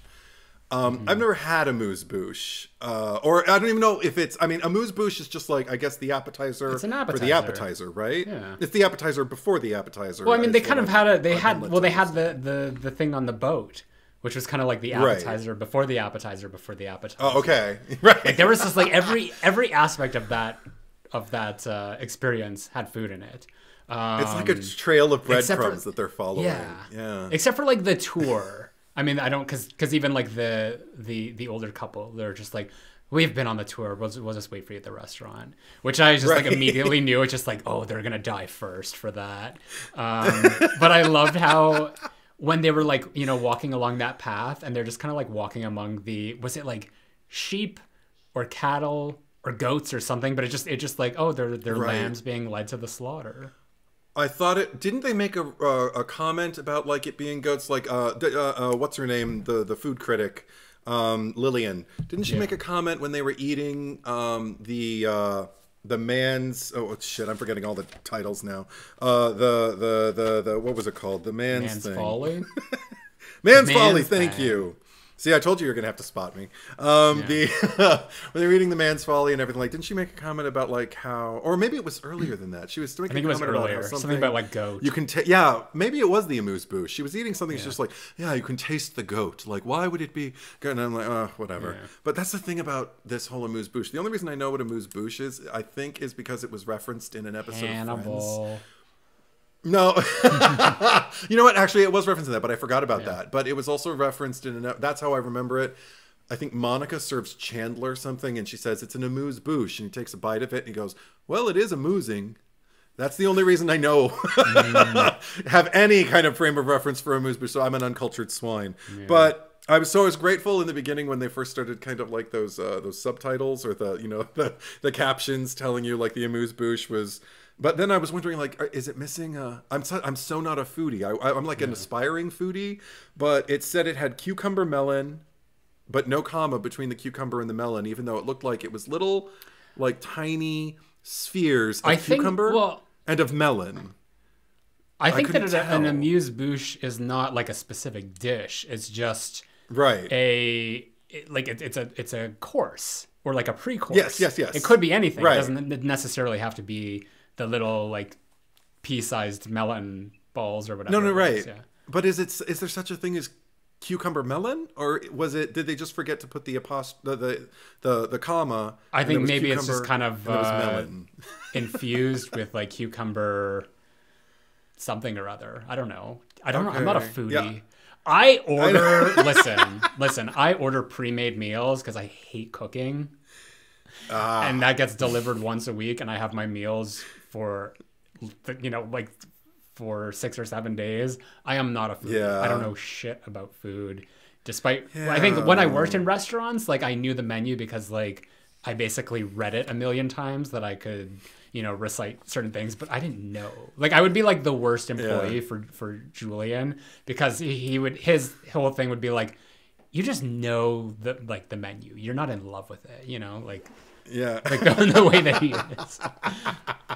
at least, uh, at least you being not a foodie, at least you don't Yeah. wor- use words like mouthfeel or anything like that. But uh, mouthfeel. he got it. But um, Hmm. oh, that was another thing I appreciated though, like from uh, uh, uh I, I keep st- tripping over her name because I know she has two, Erin Margot. Um, Just call her because Margot, it's easier. What? I got worried for a split second after the wonderful cheeseburger moment because mm. he gave her the bill, or he told her it was nine ninety five, and she put a ten dollar bill down on the table only, and I was like, oh, "Is he gonna get pissed off because she's not tipping? Because that's a definite no no in a restaurant." And then, like a few moments later, he talked about how gratuity was included, and I'm like, "That's why she got away." Yeah. Because, Well, I mean, she- the, the- the 12 includes the gratuity. Yeah. Well, the tw- I, I don't know if it would have been included in that, but the the twelve fifty was you know part of the the price already. But wait, they never paid because I thought they had already at the at first it made it sound like they had already Yeah. prepaid for the meals, but then at the end you're right because they all put their credit cards down on the table. But I don't think anyone paid. I think it was just a formality. No, I mean they're not. like- yeah, exactly. Again, the ceremony. Yeah. I, I think I, I brought up church earlier, and I feel like that's exactly. It's a cult church, but Yeah. it is a church nonetheless, or a a, a, a, a place of dogma practice. You know, in, in like so. Um. What so do you yeah, make? so I, I think that's what all that was about. what do you make of like his like chef's quarters like you know his own private home and like the the the layout essentially being the same as the the dining room. Um, I think it speaks volumes as to the way he lives his life and the way I I th- I just try to put myself in his position. Yeah. Uh, and imagine that like well then I'd always be home no matter where I go. Yeah. I'd always be in a place that feels like I just rolled out of bed and now what am I going to make today? There's no there uh, so in that sense there's almost like a lack of formality even though he wants everyone to kind of like have this reverie of him and of the the honorable, you know, space. It's also a sacred space, his version of it where nobody else is allowed to tread in his particular wing and then he I love the closed off section though, the almost little cave that he has with his with his his exposition wall. And you know I, I wish everybody had that because that would be so much more helpful if if all the people who commit the worst atrocities could just have a wall of exposition in a tiny little corner of their home that we have access to or one of us has access to and they could you know ultimately recognize the human core of that person in them it's and a very or even just to find out like what the what the threat is. It's a it's a very lazy uh writing technique but one that i'm like okay with in a way because i just love like the discovery of it. It's just like you know it's um like stumbling into like oh i wasn't supposed to see that and just like the putting everything together. Like they they may as well just like have the strings and just being like connect him like oh my god. It's him and yet at the same time like yeah it i mean you know because again like we talk about the way another friday the 13th reference there's a lot of them in this episode but um the way Adrienne King is framed you know and the way we're just kind of like okay you're obviously the final girl. And i feel like even though it's not a framing device for anya taylor joy's character we i still feel like the movie's presenting her like if anybody's going to survive she's the one. The the the, the framing not, for lack of a better term no pun intended of his photo of him standing there like uh, flipping the burger or whatever, um, you know that that's going to be significant later. But what I love is when she stands up and starts defi- challenging him, not defying him, but I guess kind of defying him, but really challenging him and speaking to, you know, the, what he's passionate about. I still don't know exactly what her plan is because if she takes a wrong step, she could get killed a little early, or she could just get, you know, her finger chopped off or something like that. So it's like, all right, um, Oh, and also, I just wanted to say, in case anybody heard, heard that you mentioned the the finger being cut off, and you said it was his pinky. It was his ring finger because his ring fell Right, off yeah. When uh, when Richard got his finger cut off, I thought that was significant because Mm-hmm. it's like you won't be needing this chop, but um, but ultimately, like being able to recognize the human core of somebody who does something monstrous to you. I like that this movie basically says that that is something that can save you. Or does it? Which leads me to one question i want to ask you. What did you make of that last moment with her on the boat and she starts biting into the cheeseburger? Did that have any particular significance to you or feel like things were kind of unresolved yet at that point? No, I just saw that as like not for me either. You know that was just kind of like the uh um the uh like the the Shawshank Redemption moment of just like you know coming out of the the, the, the hole and just being like oh I made it or you know whatever. Or like Samara Weaving smoking on the steps, Um, yeah they're like, even- covered in well yeah that's a that's a great comparison since those this is almost like the ready or not of the service industry um and just just her like taking out the burger and just being like chefs or you know something or just Because- like yeah Yeah, because that was one thing that was interesting to me. This channel, Heavy Spoiler Clips, asked, "Did you notice the hidden twist in the menu ending?" And the twist that they noticed, they- they're not positing that this is an actual intended thing, but it's just a question. And I, I, I wonder what you make of this.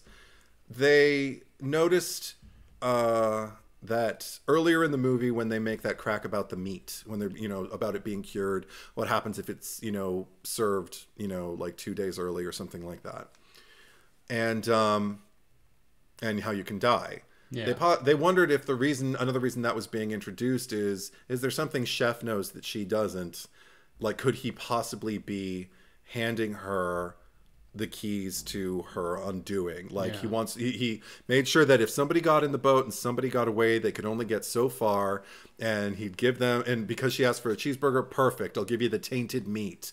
And gave it to her. So maybe what we're looking at is you know one of the last moments of hers before everything that elsa described that happens to you happens to her. And for me I, I well i wanted to know for you like what what do you make of that? Does that give you I mean I feel like it the just through a different lens? to bring it back to your favorite movies ever saw I feel like if that was the twist stop it would have to be there'd have to be this thing where she starts butting into the burger and then like has this look of of realization and then it starts to play that dun dun dun dun dun dun dun dun dun you know the saw music. And then it's like a flashback to Elsa being like well we could serve it a day late but then like you would you know bl- like whatever she says.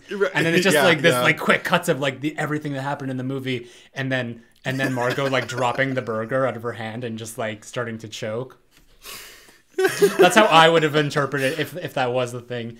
In this case, like how the movie played out, no, I don't agree Yeah. with that ending. But I think that would have been uh, hilarious me- if it was. too. I mean, it it definitely would have been bleaker. I don't think that's the movie they made. I think there's a lot a lot more to everybody in this movie. I don't feel like the the, the filmmaker intended uh, us to necessarily or intended everybody necessarily to carry that away with us. But um, I felt like that that earlier moment with Elsa was much more about kind of like you know the disrespect. Just one more example of Yeah. the disrespect that these people have for you know what these what these people invest their lives in. The thing They're that bothered me the most is when the one later. guy like sat down on one of the beds. It's just like, what are you doing? yeah Someone sleeps there yeah. for like four hours a yeah night. again again that motif of like you're moving into someone's home but um yeah so i yeah i agree with you i'd i'd i'd, I'd, I'd prefer to think she gets away and that uh, like it, it just makes it more interesting and makes her the final girl i want her to be I'd, I'd hate to think that, that that doesn't feel like the movie that Well, even- yeah. it's just bleak and everything is no there's no escape Because in Ready or Not, when we did that episode, uh, I brought up the question of just like, does she get away with everything? Because it was, you know, there's all these dead people, uh, Right. etc. And then you're like, well, no, because there's like the the pit of and the, like the the goat barn or whatever. Like they're gonna Mm-hmm. Yeah. find like the skeletons from years ago. Like it's like she's Yeah. fine. She's she's gonna be okay. And I'm just like, oh yeah, Yeah. you're right. So I and I didn't get anything. Like the boat broke down. It's going to be daylight soon. You know the coast, Mm-hmm. the real Coast Guard is going to come, and it wasn't a long boat ride either. It seemed like it was just kind of like across the bay. Like they even said at the Yeah. beginning, it's like, oh, it's just a short ride over to the island. So I, Yeah. I'm sure, and even like they they this was at night. Like someone on the the land on like the coast would have seen the fire and been like, Sure. oh, something's going on at at the old Hawthorne place. You know, Right. Send send police boats. So I'm pretty sure Like- that Margot was gonna be fine.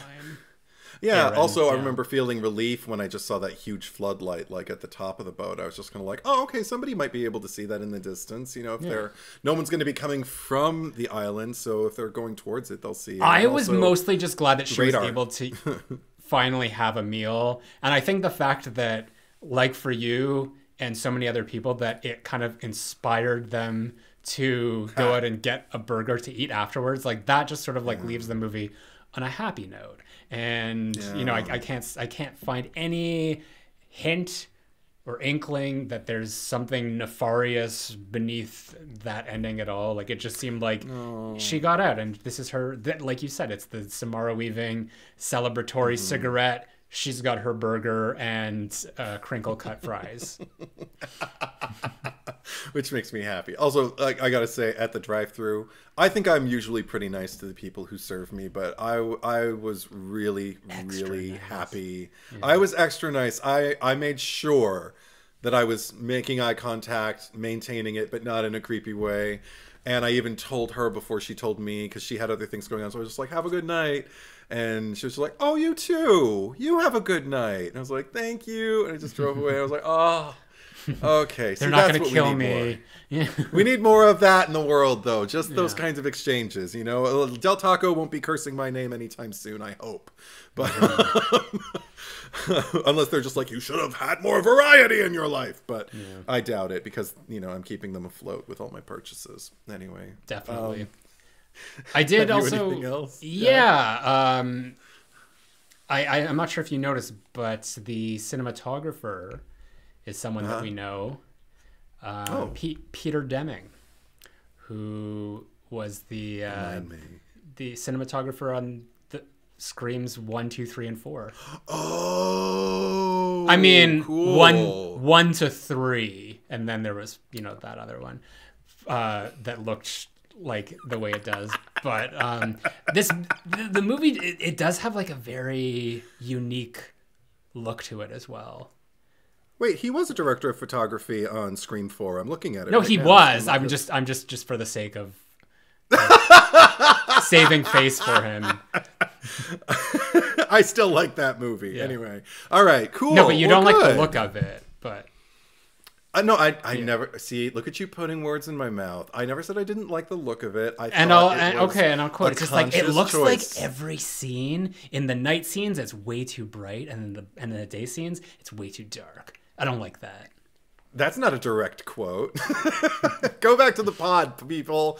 Go pod, people. Go back to the pod. Pod on people. Forum and listen to think what I like- actually said. Don't no, believe this propaganda. This might have been on like the old the old old pod. No, I don't think I critiqued it. I think I just cited that it was that everything was dark. The daytime was. We have dark, talked about how as dark as the problematic it is. nighttime. Uh, But ugh, I'm not going to have this discussion again. Go uh, go to the Patreon, listen to the old pods, and and come back to me, somebody in the DMs, and let me know what I said.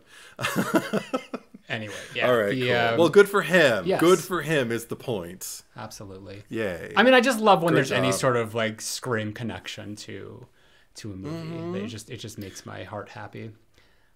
The production design was also done by Ethan Tobman, who worked on the Exorcist series, which look oh, beautiful. And he also worked on, of all things, Beyonce's Lemonade movie for to accompany her album, Oh. which is visually stunning. Um, he, yeah, uh, I want to see more of what he does in the future because it's good stuff. He knows how to create a mood. Yeah. Yeah. Yeah. Okay. Yeah. I guess b- b- before uh, we get to the cherry picker, I'll just say because um, like this was one of my favorite uh, horror movies of Uh, 2022. I think there. I think X and Pearl, like absolutely, definitely my favorites. I, I really like Bodies, Bodies, Bodies, and this one as well. Um, and I just and just like to know to like compare because I know um, we were talking about uh, Barbarian a few weeks ago, and I think like the issues that I brought up with that one were specifically in the second act, where we as an audience knew more information than the character did in that instance with Justin Long. Um, like that was my issue there. In this movie, um, in in contrast to that, why this works so well for me is that the characters know all this information that we don't know as an audience, and I think that that makes a movie, or at least a screenplay, infinitely more interesting because we should always be a step behind. We shouldn't know what's happening before the characters do, and that's that's kind of like my, you know, my biggest critique with with that movie and like where I feel like a movie like this, um, you know, gets past that uh, that problem with that you know you would find in a script. Yeah, and just to piggyback on that, in terms of like what appeals uh, and what I feel like this film got right, that I might critique other films with similar situations uh, for is so so often I feel like directors re- re- and screenwriters with situations like this rely on the reveals of the truth uh, in the situations uh, with the people between themselves who are stuck in, in that in that predicament. But with this one, I feel like all of that is interesting, but also secondary to our our major foe and our major hero or heroine. Um, just kind of like the, the watching them relate to each other and watching them just kind of like uh, like what what makes them what binds them together and makes them similar, but also what makes them diametrically opposed to each other. That that that kind of stuff uh, I eat up with a frickin' spoon, for lack of a no pun intended, for lack of a better term. sure. But but but yeah. Um, so I uh, yeah I I agree. 2022 was a good year for horror. This um, I I don't know if I I I- I got an opportunity to see Bodies Bodies Bodies a second time and I like it. Um, but I think I might prefer this Yeah. one. I have to- I think still have to this watch, I'll uh, Yeah. Yeah, I still have to watch BBB again. All right. Okay, yeah, let's let's get to the cherry picker. It's not like we killed people.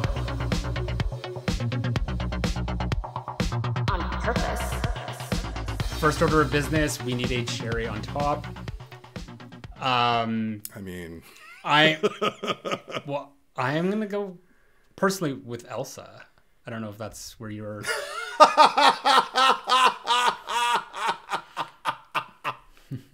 Oh, oh my God, No. that's great. no, I think that's amazing because I adore her.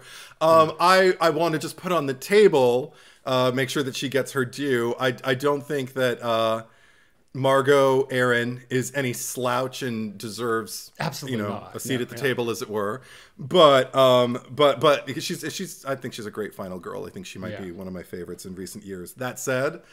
Yeah, let's let's give it to Elsa. She's She- well, I mean, she yeah, she stole every moment that she was in and every line that she had. Whereas like Margot, like she was there, but she didn't kind of like turn up for me until later on. Um, I miss Elsa when she's gone. Yeah. I really miss her. Absolutely. But I'm like, you need. I obviously I know. Okay, if you don't kill her, she will carve you up. Yeah. Like she is just kind of like it's it, it, it can, there can only be one, ah! you know. So, I I respect like I said I respect her militancy and I I love that performance. So I am happy. Yes, Elsa, Excellent. Elsa, Elsa. All right. So for the cherry picker, last week Yeah. we we asked you who deserves to die the most in Army of Darkness. I Mm-hmm. nominated Evil Ash. You nominated Sheila.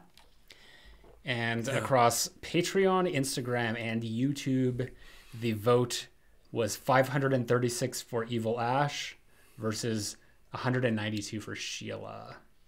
Oh, thanks, guys. Thanks for trying. thanks for showing up. Yeah. Sean P says, "Can't believe I'm the first to vote for a change. Love both of these characters. Evil Ash is hilarious, but he's still a bad guy, so I pick him. Love both of you guys. Look forward to your thoughts on the new Evil Dead. Me too. It's gonna happen. Yeah, we still got we still got mm. 2013 to get through. yeah. Thomas Baker. I pick Evil Ash because when we see his uh, literary skeleton crew exploding the camera, uh, exploding, comma, um, the camera goes to him and he started making that first time having sex noise. It was hilarious. You, I don't even remember that. No, I need to now. I need to watch it again. I, I mean, I, at some. I, I trust Thomas Baker. I, I'm, I'm not gonna watch it again, at least not for a while. Um, so I don't need to, but yeah, I, I'm sure it happened. right. Uh, movie Maniac 03 probably should be Evil Ash, but I can't even remember who Sheila is, and that is way worse in my opinion. Beth Davidtz. Wow. She's the girl. Yeah. I mean, for anybody who doesn't know who Yeah. Embeth is, yeah. It's funny that like there's there like we or just like um, you uh, in particular have like spoken with, with such like reverence for for Beth Davidtz, but it's like now twice for like the two movies that we've covered that she has appeared in 13 Ghosts and Army of Darkness. It's just like she must die, kill her. yeah. well, her characters, you know, they have each have their own Yeah. reasons, but I don't I don't want her to die. No, no, no, no, no. But I, it's it's just funny that just like she's she's so popular, like within the horror genre, um, but then it's like played these like characters, Yeah. who you know we can say that she's a slouch. Um, so anyway, Yes. my chunky Geordie Sheila is just useless. At least Ash lets you know what he is evil. Michael ninety two, give me some sugar, baby. And that that was my that was my impression of Oh, great. yeah yeah. uh, J- J- Jayton Pasco never watched it, but I'm voting for Sheila because it's too easy voting in the evil option. Fair enough. Okay. Johnny Pendergast says, I feel like I voted Sheila just to be mean, but thinking about it, without Evil Ash, there's no evil puppet Ash, so my vote stands. All right. Blueberry says, Off with her head! kind of a vocal minority here. Yeah, that's Uh, great. Meme City, good, bad. I'm I'm the one with the gun. and Okay. Silent Saturn says Evil Ash. Ash in general, really, he was a dick in this film. Uh, he looks good in a ripped shirt though. Yeah. That Or like the little the, the poster, the artist rendering of the poster. Right, right, right. That's cute. Excuse me. so, Um, go for it. So the menu. I mean, this is this is difficult because I do like this character just in terms of like a like the narrative that is presented, but it's just it's so egregious what he did of of inviting Margot knowing full well what the the consequence of that would be for her. So it's easily it has to be Tyler. Okay. Yeah. Oh, okay. I'm not gonna vote my conscience or my heart this time. Because honestly, like at first I was like, all the people, because that's a really good one, and I'd like to, I'd like to get back in my winning streak, but. but um but it might be interesting because he might be too annoying for me to ever win this but because originally i was gonna i was gonna say dale the coast guard just because what he did was beyond shitty than all the other because all the uh, the other kitchen artists like at least weren't giving anybody any hope but the fact that he seems to be a member of the cult as well but full on donned a costume just to kind of like gotcha. I thought that was shitty, but I don't think he's gonna win against Tyler. So the only person I can really put against Tyler and have some kind of faith that he might win, even though I, and I don't find him terribly interesting, but what he represents and what he brings out in the other characters is interesting. But uh, I'm going to say Richard, the old man, the philandering husband, because um, there's nothing redeemable about him. Yeah. There's nothing, and like I said, there's nothing terribly interesting about him either. And as a person, if he were a real person, I have issues. You know, he has issues that I. I mean, he with. is he's he's masturbating ah. in front of in front of someone who resembles his daughter. That's just weird. and making and then making her tell him she's his she Yeah. is his daughter. Gross gross rich old white man. So just uh, don't mean to bring race into it but it's it, it's there. Sorry it's been done. The die is cast. And anyway that's who i choose It's a very I it's choose been a very white cherry picker lately. I can't remember the the last time it wasn't a, a white. Well, I'm not going to choose any of the people of color, especially for this one, because uh, number one, like all those guys at the table, like the Mm-hmm. the table that has all the I don't I don't even remember was it embezzling technically that they did or Yeah, whatever, but they were yeah. all non-white. They were all people of color, and so but they were all kind of equally offensive. No one of them I felt It's like, yeah, it's hard like- to and just as per the rules of the cherry picker, you can't pick a collective um, amount of people. it has to be one or the other. And I think with with Yeah. that, like you you run the risk of it's almost like taking like the whole entity and just like cutting it into like a sliver. It's just like it's just a third of a person versus all of, Yeah. of one. So that would that would have been my mindset too, because I think that like they were pretty awful in their own right. But Richard is a Richard is a respectable choice for the chopping block. I mean, yeah, interesting turn of phrase, like Yeah. respectable. Yeah, for the for the chopping. Block, I'm more so meant to chopping uh, as the, the Yeah, phrase. emphasis on chopping Yeah, block, yeah. not respectable. Yeah. Gotcha.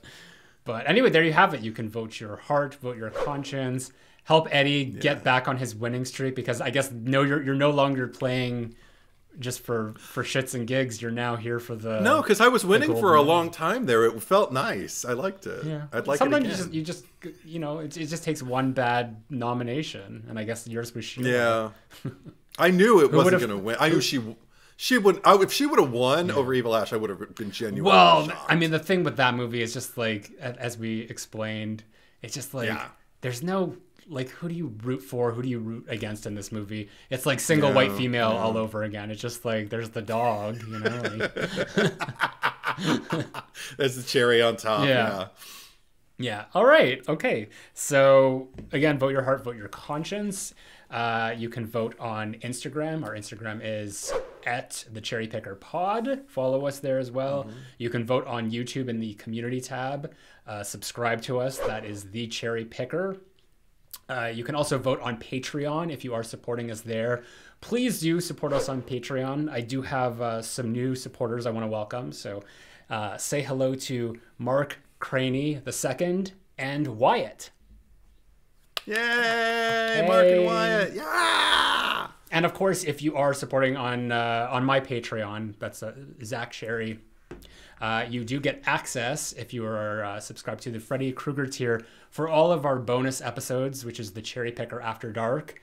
This month, uh, or this this past month, we did Buffy the Vampire Slayer season four. Next month, pending, we'll talk about that after. Um, Yeah. but anyway, more cherry picker content for for you to enjoy. So consider uh, checking that out. Um, and then I also wanted to thank Andre Felix, who is our podcast editor. So thank you, Andre, as always. And um, what else? What is my my my a list of things I have to go over that I can never just just do all in one. Um, but if you are new Need to bullet points. I mean, I kind of do, but I just out. like it's reading, and I and I already can't do it at this point. But if you are new to the cherry picker, You can obviously listen to these episodes if you are watching us on YouTube. So the RSS feed link is in the descriptions down below. And like I said already, we have our YouTube channel. So if you are listening and you want to see our our faces, you can go watch it over there. Edward, where can they find you on social media? If you want to see more of my face, go to Instagram or YouTube and just search Edward is Truth, one word. I should pop up there. What about you, Zack Cherry? My main YouTube channel is Zack Cherry, Z A C K C H E R R Y. Instagram is Retro Bitch Face, all one word, and Twitter is Zack Cherry 8. What do we got going on next week? Okay. Is it the one where the there's a play No. It belongs to Childs? Like from the thing? not Childs from not not from the thing, but like from children, but it's like, you know, but it's happening for Children the of the time. Corn? No, but for the second time. I don't know. Is it Child's Play 2? yes. Yay! I mean, yes. I mean, yes. I don't know what that was. You'll be reading the premise for that one. oh, sh- I have to? I've got homework to do? Okay. yeah, in the Chucky voice, you said it. You said you would Oh in the Child's gosh, we pod. did agree to that. Yeah, okay. Well, thank you for watching. Thank you for listening. And come back for Child's Play 2. We will be right back.